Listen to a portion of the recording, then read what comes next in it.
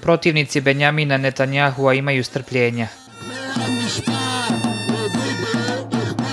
prije nego što objavi formiranje svoje šeste vlade i predstavi je Knesetu kako bi dobio povjerenje, oni su izašli na ulice u znak protesta protiv ekstremističkih članova u njoj. Kažu da će taj spoj neizbježno dovesti Izrael do toga da postane fundamentalistička država. Kažu i da će srušiti demokratski sistem, kao i nezavisnost i utjecaj Vrhovnog suda, time što će zadirati u zakonodavnu i izvršnu vlast. ביבי חלש, הוא נסחט על ידי קיצונים. נתניהו je slab, Ucijanjuju ga ekstremisti koji žele donijeti zakone protiv Izraelaca, protiv žena, Arapa i manjina.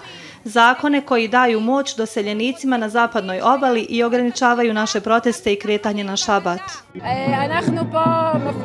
Protestujemo protiv nasilničke vlade na čijem je čelu osumnjičeni za primanje mita, prevaru i zloupotrebu povjerenja, u kojoj će osuđeni Lopov postati ministar financija, a to je prijetnja demokratiji.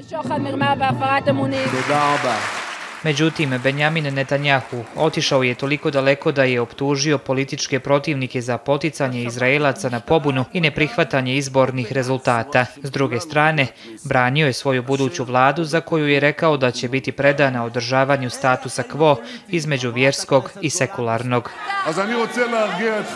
Smirite se, daćemo struju subotom, bit će kupališta za sve. Sačuvat ćemo status quo.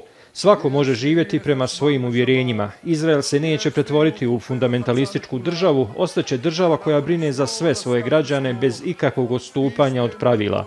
Izabrani smo da vodimo državu u dosadešnjem smjeru prema pristupu liberalne nacionalističke desnice i to je ono što ćemo učiniti. Stranka Likud smijenila je dosadašnjeg predsjedavajućeg Kneseta i postavila jednog od svojih članova na njegovo mjesto. Netanjahu nastoji prije nego što predstavi svoju vladu sljedeće sedmice utjecati na Kneset da donese kontroverzne izmjene zakona, među kojima su najvažnije proširivanje oblasti ekstremističkim partnerima u ministarstvima nacionalne sigurnosti i odbrane, te omogućavanje vođi pokreta ŠAS, koji je osuđen za krivična dijela, dobijanje ministarske pozicije. U Izraelu se formira vlada koja budi strahove kod protivnika Benjamina Netanjahua da će dovesti do produbljivanja raskola u izraelskom društvu, a posebno između vjernika i sekularista.